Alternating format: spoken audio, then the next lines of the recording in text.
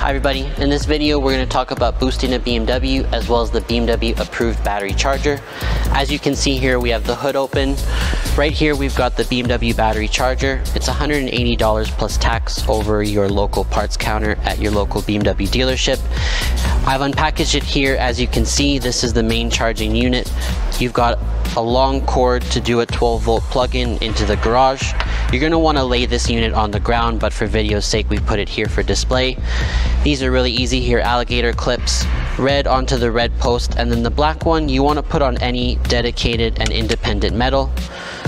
Once plugged in on the 12 volt, you're to hit mode, and it's going to run through a couple options with you. There is a little instruction booklet that comes with the unit. It's going to be able to give a main, maintaining charge to the vehicle. In an emergency situation only, you may boost these vehicles, but it is recommended if you have the time that you slowly charge it as opposed to boosting. Thanks for watching.